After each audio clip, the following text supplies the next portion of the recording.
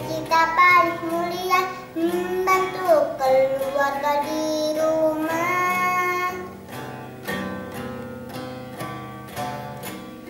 Sekolah dulu gak punya biaya terpaksa Gua harus mencari nafkah